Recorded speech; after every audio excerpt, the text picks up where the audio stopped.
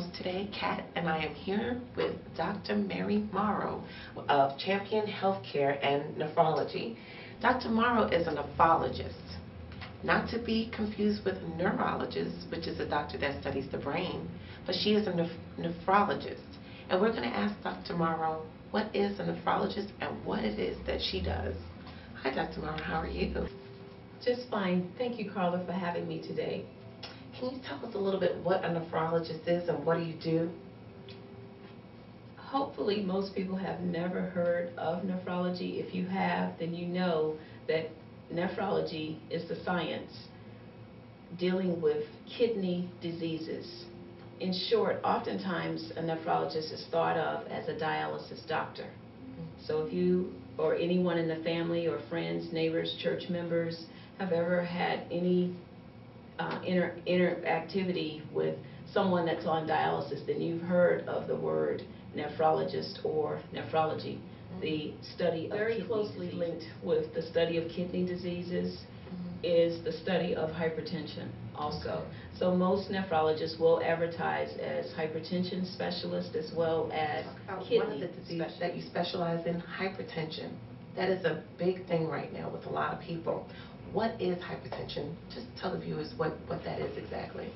There's elevation of the arterial blood pressure, and for our population, our ethnic group, it is just rampant. For hypertension, what can we do to kind of take care of ourselves if we have it?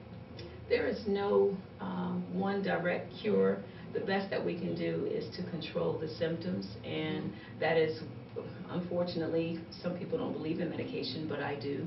Um, but also, along with medication, diet and exercise are at the forefront of that. Sometimes a person may be able to discontinue certain medications as long as they are dieting, as long as they are exercising. Now, there are certain diseases uh, related to hypertension mm -hmm. where there are other treatments, but we generally call that secondary cause range of blood pressure. I would say uh, systolic 90 over diastolic um, 55. Okay. 95, 90 over 55 on the low side. Right. And then on the high side, the recommendations keep changing, and the current recommendation, uh, current goals that I choose for my patients, systolic 130, diastolic 80.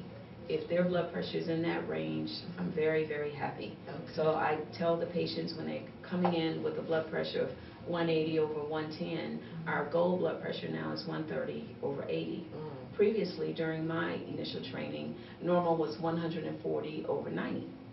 Now, that I would like for the audience, um, anyone viewing this program, ask your doctor for a urinalysis. Also, um, blood pressure screening. I mean, go to the free clinics mm-hmm. um, and um, health fairs, get your blood pressure checked, um, ask for a referral to see someone if there's protein in your urine or blood in your urine. Mm. Now, the test that we, as nephrologists, look at the most is called the creatinine. Okay. And we'll discuss our genetic predisposition. As I said, it's very rampant in my family. At some mm-hmm. point in time, uh, no matter how many diets I'm on, how much I exercise, I would anticipate that I would probably still get it because both my parents have it. Yeah. And now two siblings have it, one brother and one sister. Um, however, it's also lifestyle related. Mm-hmm. I mean, we need to watch our weight. We need yeah. to eat as healthy as we can. Mm-hmm. Um, directly with Exercise. the kidney disease is anemia, and I'll explain that further. And that's a big part of the management, not just the hypertension management, but the anemia management as well as the overall, it's, it's a part of taking care of a kidney patient. Okay. All right. Um, specifically, though, the number one sign that I see um, as far as someone on their way to mm-hmm. needing dialysis, in addition to fatigue, nausea and vomiting. Mm. Nausea and vomiting. Um, also, loss of appetite, wow. itching, mm-hmm. bad taste in your mouth, mm-hmm. um, bloating, mm. swelling, whether it's swelling around the eyes or Right. swelling of your legs and feet. Okay. Okay, those are some of the big signs to look for. Sometimes swelling of the legs and feet may be related to the heart, Mhm. okay? Um, But I also, from my standpoint, I'm always looking at, is this patient headed towards kidney failure or heart failure? Or is it a combination of the two? What we call end-stage renal disease, when a person's kidneys have stopped working, Mhm. stopped filtering, stopped purifying the blood, stopped getting rid of waste in the body, then we have several alternatives, the main category being dialysis. All right, whether it's hemodialysis, a person goes to a center three times a week, and they are hooked up to a machine, either via a catheter or some type of dialysis access in the arm, we call that a fistula, or a graft, Mhm. okay? Um, Oftentimes, if their veins and arteries are not suitable, a surgeon may go to their legs okay? But initially, at the start, a lot of times, especially if a patient has not been followed by a nephrologist, they often will have a catheter first. Mhm. We don't like to use catheters long-term, only short-term. It's a temporary um, situation because catheters lead to infections. Yeah. Okay, catheters lead to a higher risk for infection. So as soon as we can get that catheter out, we try to get that out and get a permanent access when we know someone is now in end-stage renal disease and will require dialysis, hemodialysis in particular. Then the second type of dialysis is called peritoneal dialysis. Oftentimes, people want to stay at home Mhm. they feel more comfortable in their own home, they want to have some control over their disease state, and we encourage them to do peritoneal dialysis. Fluid is, quote, pumped into their abdominal area, their abdominal cavity, the peritoneal cavity, and then it's drained out several times a day or once a day, often overnight, but it's over an eight to 10-hour period. Their blood is being cleansed through this peritoneal dialysis.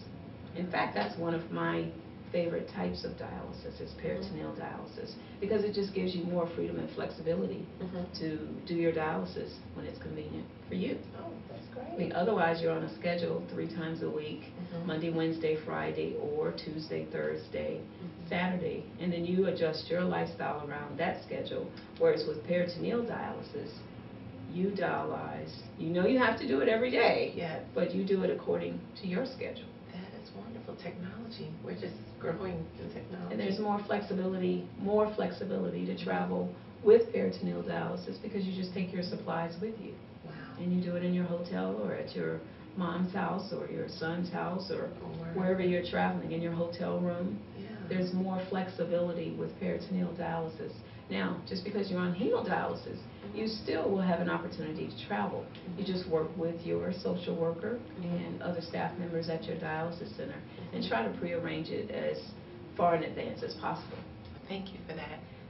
Dr. Morrow, right now, we're going to ask you to take a look in that camera and let the viewers know what it is that they can do to prevent all of this, and just basically give a summary of everything that we spoke about. The most important thing, again, diet, exercise, follow up with your doctor, your primary care physician. Um, If you're looking into the telephone book, if you have a strong family history of kidney disease, please ask your doctor for a urinalysis, number one. Get your blood pressure checked. Get your blood sugar checked.